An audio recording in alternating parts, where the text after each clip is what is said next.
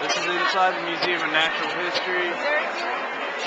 So, I mean, it's, it's a lot of stuff to see in a short amount of time.